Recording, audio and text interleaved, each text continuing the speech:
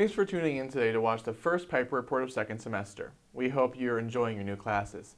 We have another exciting show today for you, including the beginning of a new series called Hamline's Hidden Gems, where we're going to be visiting the Writing Center.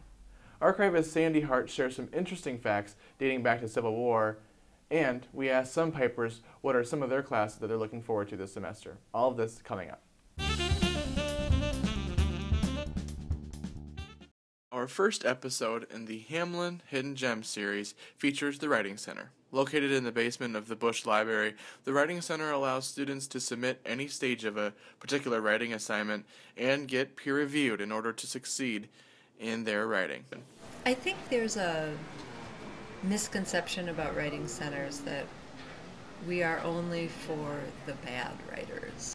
The idea of coming to the Writing Center is really to extend the learning that's taking place in the classroom and to do so in a way that allows a student to sit down with someone one to one.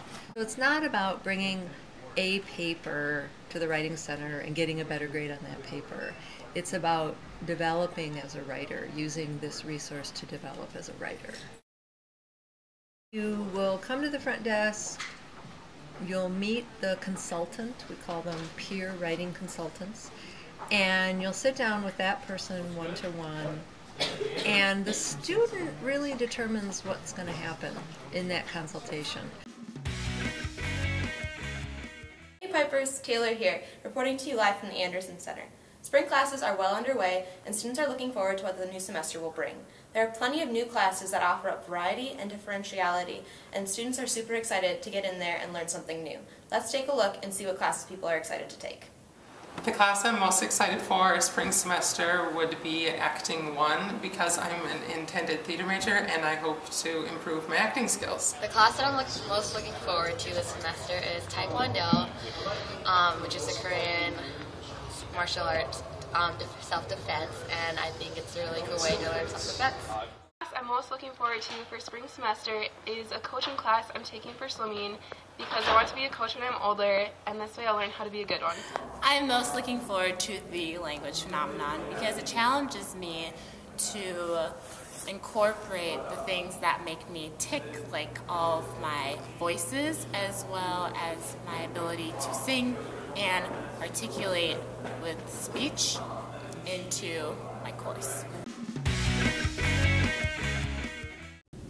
Hi everyone, it's Con from the Piper Report. On Friday, February 1st, Adam Scher from Minnesota Historical Society and Candy Hart, who is Hamline archivist, presented their first Friday Forum, which is Hamline University, Minnesota, and the Civil War. Hamline was the first school of higher education in Minnesota, and it had only been open for a few years when the Civil War broke out and most of the students, male students and the professors and of a one of the former presidents uh, all decided to volunteer to serve in the war.